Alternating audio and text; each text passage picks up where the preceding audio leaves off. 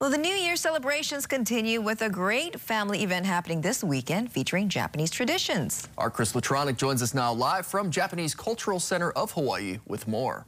Aloha good morning, Chris.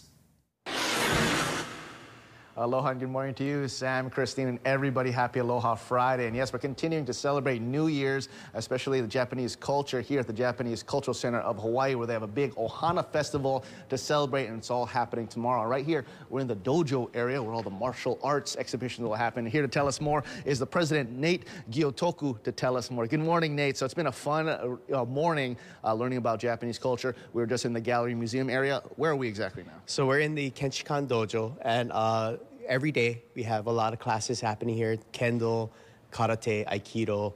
Um, all of that happens here in the dojo. Yes, and all uh, very important martial arts, Japanese martial arts, and we can see that kendo uh, about to get ready for their first class at around seven. So tell me, uh, just uh, also tomorrow, big festival, and also a lot of martial arts going to be displayed. Correct. Yeah. So tomorrow's our 31st annual New Year's Ohana Festival. Starts at 10, ends at 4. Uh, parking is available at UH, paid parking. Uh, we have a free shuttle running from UH, as well as parking at the Varsity uh, Theater parking lot.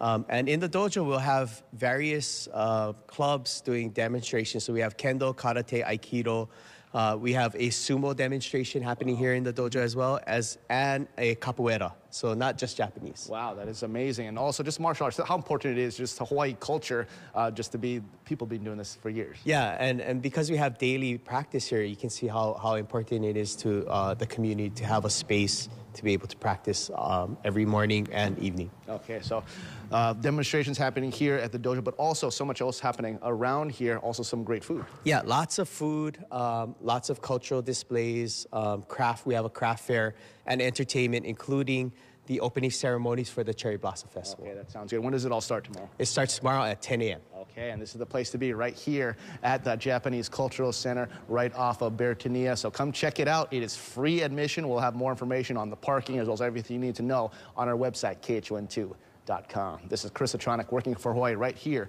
in the dojo of the Japanese Cultural Center of Hawaii. Sending things back to you.